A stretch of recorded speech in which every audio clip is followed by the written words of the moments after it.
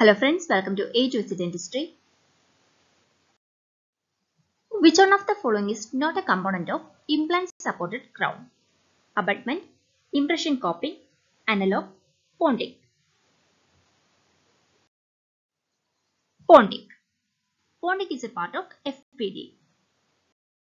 Which of the following is not the response of histamine release due to allergic reaction? Vasodilatation, bronchoconstriction, increased blood pressure, secretion of HCl. Increased blood pressure. Which of the tooth would have two canals most of the times? Tooth number 15, tooth number 35, tooth number 24, tooth number 45. Tooth number 24.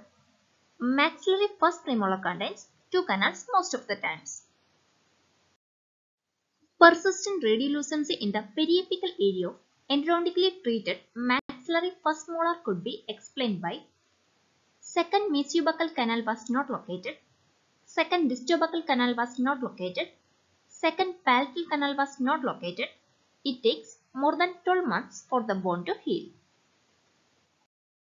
It takes more than 12 months for the bone to heal.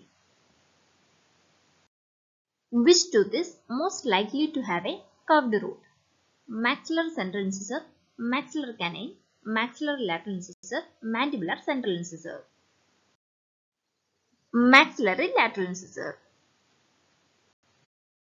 Tissue conditioners are used for completely edentulous patients to remodel the alveolar bone, to bring the tissue tone to normal, to elevate any signs of tissue inflammation before new denture is fabricated, showing signs of oral candidiasis.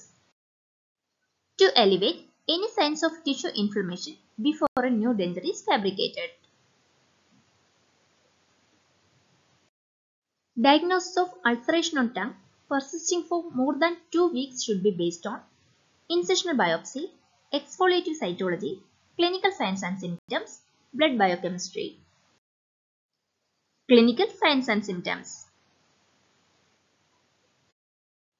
Which one of the material is not used for dental implants in clinical use? Commercially pure titanium, grade 5 titanium, titanium 6-4L 4V alloy, cobalt chromium molybdenum alloy. Cobalt chromium molybdenum alloy.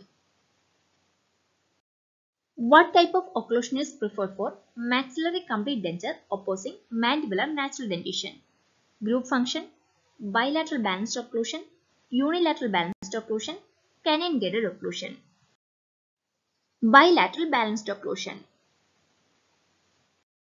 Which one of the following communicable disease commonly infect dental health personnel? AIDS, hepatitis B, hepatitis C, SARS. Hepatitis B.